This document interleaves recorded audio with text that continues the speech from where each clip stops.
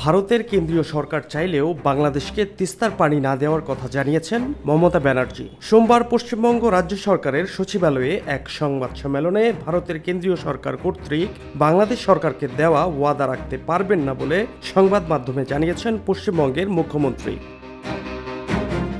মুখ্যমন্ত্রী মমতার কারণেই ভারত সরকার গত এক যুগেরও বেশি সময় ধরে চেষ্টা করেও বাংলাদেশের সঙ্গে তিস্তা পানি চুক্তি করতে পারছে না। সবশেষ সংবাদ সম্মেলনেও তিস্তা পানি চুক্তির ব্যাপারে নিজের অবস্থান আরেকবার স্পষ্ট করলেন তিনি।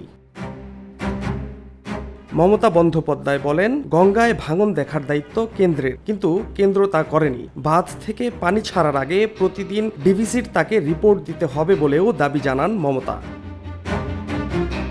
তিস্তা চুক্তির নবায়ন নিয়ে কেন্দ্র সরকারকে এক হাত নেন মুখ্যমন্ত্রী মমতা। তিনি বলেন, গঙ্গার পানি ভাঙনে যেসব বাড়ি তলিয়ে গেছে, সেগুলি নতুন করে তৈরি করে দেওয়া হবে বলে জানিয়েছিল কেন্দ্র সরকার। সাতশো কোটি টাকা আজ পর্যন্ত দেয়নি। ফারাক্কা চুক্তি নবায়ন হলেও বিহারও ভাসবে। মূল পক্ষ আমরা, আমাদের জানানো হলো না। বলছে, তিস্তার পানি দেবে বাংলাদেশকে। পানি রয়েছে যে দেবে, বাংলাদেশকে পানি দিলে উত্তরবঙ্গে কেউ পানীয় জল পাবেন না।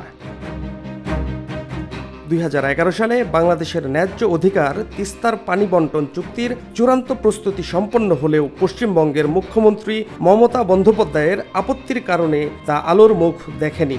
এরপর ১৩ বছরে বিষয়টি নিয়ে নিজের অবস্থান বদল করেনি মমতা। উনিশশো ছিয়ানব্বই সালে হওয়া ঐতিহাসিক গঙ্গার পানি বন্টন চুক্তির নবায়নের বিরুদ্ধেও ক্রমশ সুর চড়া করতে শুরু করেছেন তিনি। দুই হাজার ছাব্বিশ সালের ডিসেম্বর মাসেই ত্রিশ বছরের গঙ্গা চুক্তির মেয়াদ শেষ হবে।